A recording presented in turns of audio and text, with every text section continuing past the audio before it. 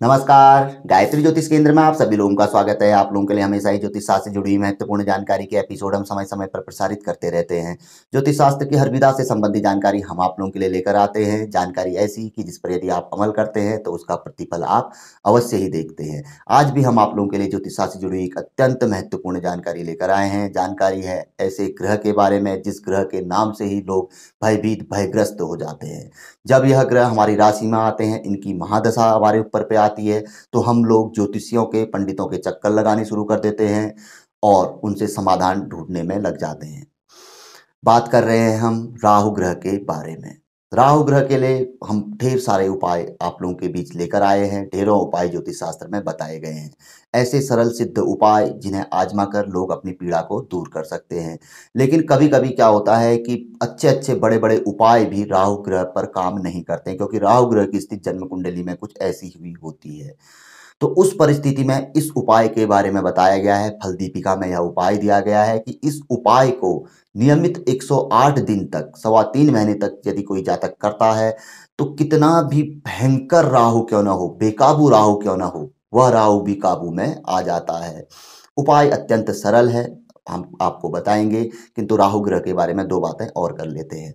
राहु ग्रह की जब पीड़ा शुरू होती है तो राहु ग्रह हमें चारों ओर से घेर लेते हैं। एक ऐसे चक्रव्यूह में हमें फांस लेते हैं कि हम हमारा उससे बाहर निकलना मुश्किल हो जाता है, व्यक्ति का दम घुटना शुरू हो जाता है। राहु ग्रह के लिए हम कई बार एक श्लोक का वर्णन करते हैं, बुद्धिया विहीन मति विभ्रम सर्वशून्यम विश्वम याति विस्मापत मृत्यु तुल्यम व्याधि वियोग धन हानि विषानी जय हो, राहो दशा सृजति, जीवती ससंयम चौ राहु की जब खतरनाक दशा हमारे ऊपर पे आती है, जब खतरनाक राहु हो जाते हैं तो हमारा जीवन भी संकट में पड़ जाता है।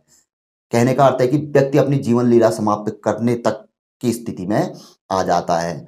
किंतु इस उपाय को करने के पश्चात कैसा ही राहु क्यों ना हो कितना ही खराब फल क्यों न दे रहा हो, वो राहु भी शांत हो जाता है और कहीं ना कहीं उसका शुभ फल भी जहाँ शांत हो जाता है तो उसके बाद शुभ फल भी राहु ग्रह हमें देता है।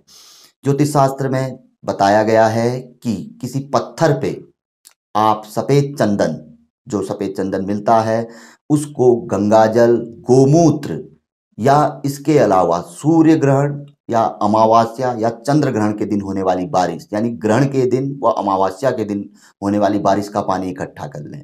इन तीनों में से किसी का भी आप इस्तेमाल कर सकते हैं। तीनों चीज़ें मिल गई तो सोने पे सुहागा। तो उन, उस पानी से, यानी कि गोमूत्र मिला लीजिए, गंगा जल मिला लीजिए और अमावस्या या ग्रहण के दिन का जो बरसात का पानी है, उस पानी को मिलाकर किसी पत्थर पे चंदन को घिसिए, उसका थोड़ा सा लेप बना लीजिए। और 108 बार राहु ग्रह का मंत्र जापते जापते आप इसको घिस लीजिए, चंदन को पत्थर पे। अब 108 बार क्योंकि आप घिस रहे होंगे तो आप गिन तो सकते नहीं हैं। तो एक माला 108 की लगभग लगभग पाँच मिनट में हो जाती है। तो ध्यान रखना है कि पाँच मिनट तक आपने ओम रा राहुवे नमः मंत्र, ओम रा राहुवे मंत्र के साथ इस चंदन को पत्थर पे घिसते रहना है। अब इसके बाद जो लेप आपका बन जाता है तो उस लेप को तेल बताया गया है। विशेष तौर पर हम सरसों का तेल का इस्तेमाल करते हैं। तो गले से नीचे के हिस्से में तेल में इस लेप को मिलाकर प्रातःकाल नहाने से पहले पूरे शरीर में मल लीजिए और उसके बाद स्नान करिए। नियमित 108 दिन तक ऐसा करने से कैसी भी राहु ग्रह की पीड़ा हो वो दूर हो जाती है। पहले ही आपको असर देखने में आ जाएगा। अब बहुत से लोग कहते हैं कि हम लोग लोगों को उपाय बताते हैं तो उस समय कि क्या हम इसको रोज घिसें या एक बार घिस के रख सकते हैं? आप घिस के इसको रख भी सकते हैं, दो चार दिन चल जाएगा आपका, उसके बाद पुनः इसको आप घिस सकते हैं। चार पाँच दिन रखने के बाद। अब लोग कहते हैं कि हम कब से इसे शुरू करें? तो शुरू करने के लिए सबसे बढ़िया वार शुक्रवार, जो कि राहु का वार माना जाता है। उस दिन आप प्रातःकाल जल्दी उठ जाएँ और इस तरीके से जैसा आपको बताया कि गंगाजल, गोमूत्र या अमावस्या या ग्रहण के जल में पत्थर पे चंदन के साथ इसे घिसे और पाँच मिनट तक, लगभग पाँच मिनट में 108 की माला हो जाती है। ओम रा राहुए नमः। मंत्र के साथ घिसते रहिए। पाँच मिनट का समय ले लीजिए, बस। उसके बाद इस लेप को विशेष तौर पर सरसों का तेल का ही हम इस्तेमाल करते हैं शरीर में लेपन के लिए। तो सरसों के तेल में इसको मिलाकर पूरे शरीर में आप मल लीजिए, उसके बाद स्नान करिए। आप देखेंगे अति शीघ्र ही आपको इसका चमत्कारिक परिणाम देखने में आएगा, क्योंकि यह सिद्ध उपाय है। और बहुत से लोगों को हम यह उपाय बताते हैं, क्योंकि उपाय तो हम बताते रहते हैं। जब आदमी कहता है कि भाई, उस उपाय से हमें असर नहीं हुआ तो तब अंत में थोड़ा जटिल है उपाय, थोड़ा कठिन है तो तब हम कहते हैं कि भाई, अब इस उपाय को कर लीजिए। और इसका बहुत अच्छा जो प्रतिफल है देखने में आया है। कई लोगों ने हमें बताया है कि बड़ा आराम मिल रहा है, बहुत अच्छा महसूस कर रहे हैं, और उम्मीद है कि आगे को बहुत अच्छा होएगा। तो आप भी एक बार इसको आजमा सकते हैं। सिद्ध उपाय है और ज़्यादा कठिन भी नहीं है। चीज़ें गंगा जल ना मिले, ये अमावस्या या ग्रहण का जल ना मिले, किंतु गोमूत्र तो सुलभ हो जाता है, गंगा जल भी सुलभ है तो उसमें घिसिए चंदन मिल जाता है सफ़ेद चंदन मार्केट में और पत्थर आप रख लीजिए। हाँ एक चीज़ और है, और उस पत्थर को उल्टा करके रख दीजिए, घिसने के पश्चात पत्थर को उल्टा करके रख देना है। अब जिस दिन घिसे, उसी दिन उस पत्थर को सुलटा करना है। घर में कहीं पर भी पवित्र या शुद्ध जगह पे आप उस पत्थर को रख सकते हैं। यानी कि घिसने के पश्चात जो पत्थर आपने ऊपर साइड से घिसा तो पत्थर को घिसने के पश्चात उल्टा करके आप रख दीजिए।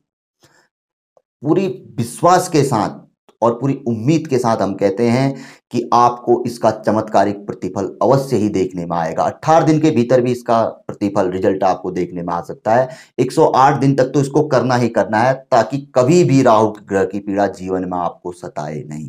और जहाँ तक होगा, राहु ग्रह का शुभ फल भी आपको प्राप्त होना शुरू हो जाएगा। भले ही वो किसी भी भाव में बैठे हों, त्रिक भाव में क्यों ना बैठे हों, तीन छः आठ, बारह, इन भाव में क्यों ना बैठे हों दूसरे भाव में क्यों ना बैठे हो, मारक क्यों ना बन गए हों, या जो अच्छे भाव में बैठकर भी कभी कभी राहु ग्रह फल नहीं देते, जैसे लग्न है, पंचम है, भाग्य है दसम है, यहाँ पर बैठ के भी राहु ग्रह कभी फल नहीं देते तो वहाँ पर को आप आराम से इस उपाय को आजमा सकते हैं।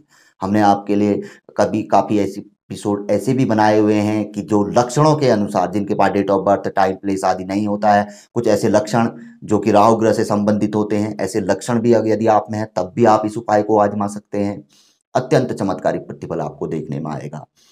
और इसके साथ साथ ही हम आपसे अवश्य ही हमेशा कहते रहे हैं कि अपनी पत्रिका एक बार अवश्य दिखाएँ वर्ष में। भले किसी को भी दिखाएँ, अपने निकटतम ज्योतिषियों को दिखाएँ, जिनको आप जानते हैं या जिन पे आप विश्वास करते हैं। तो जानिए हमारे ग्रह कैसे हैं, किस ग्रह से संबंधित हमें पीड़ा है।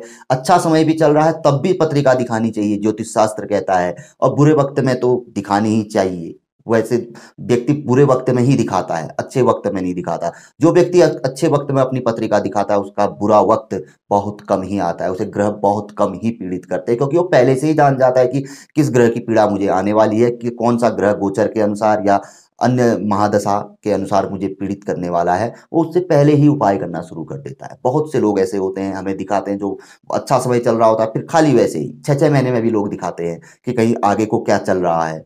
अब बुरे वक्त में दिखाएँगे तो वैसे भी बुरा वक्त चल रहा होता है, आदमी परेशान होता है और उस समय पे उपाय भी वह एक प्रकार से मनोबल टूटा हुआ होता है, करता है तो वहाँ पर उपाय भी उसके थोड़े कम ही सक्सेसफुल होते हैं, लंबे समय तक करने पड़ते हैं। हाँ जहाँ पे अच्छा समय चल रहा है, पहले से ही उसे पता है कि भाई ऐसा समय आने वाला है, वो पहले से ही उपाय में लग जाता है तो वहाँ पर को उसको फल, अब जो बुरा फल है, थोड़े में रह जाता है। जैसे देखो, बरसात हम रोक नहीं सकते हमारा काम है अपनी छतों को ठीक कराना अपनी सुरक्षा करने के लिए छाता आदि ले लेना। ताकि हमें बरसात से तो हम बच नहीं सकते हैं। कहीं ना कहीं छीटे जो रहेंगे, पाँव में भी पड़ेंगे, लेकिन कम पड़ेंगे। छाता नहीं होगी, छत सही नहीं होगी तो पूरा भीग जाएँगे। बस वही चीज़ें हैं। तो पहले ही सतर्क हो जाना चाहिए। तो आज की जो ये जानकारी थी राहु ग्रह जनित, बहुत अच्छी जानकारी थी। हम उम्मीद करते हैं कि आप इसे अमल में लाएँगे और इसका चमत्कारिक प्रतिफल आप अवश्य ही प्राप्त करेंगे। जानकारी पसंद आए तो ज़रूर आगे बढ़ाकर शेयर कर सकते हैं। नए लोगों से आग्रह रहता है कि आप हमारे एपिसोडों को देखिए पूर्व में जो प्रसारित हैं, उसके बाद निर्णय लीजिए, आपको अच्छा लगता है तो गायत्री ज्योतिष केंद्र के साथ जुड़े, चैनल को सब्सक्राइब करें बेल आइकन दबाएँ। बहुत अच्छी जानकारी है। ज्योतिष की किसी की भी जानकारी हो, हमारे कहीं ना कहीं, कभी ना कभी काम ही आती है। तो मिलेंगे ऐसी किसी बहुत अच्छी जानकारी के एपिसोड के साथ अगले वीडियो में। तब तक के लिए नमस्कार। जय श्री राम, जय श्री कृष्णा। ओम नमः शिवाय।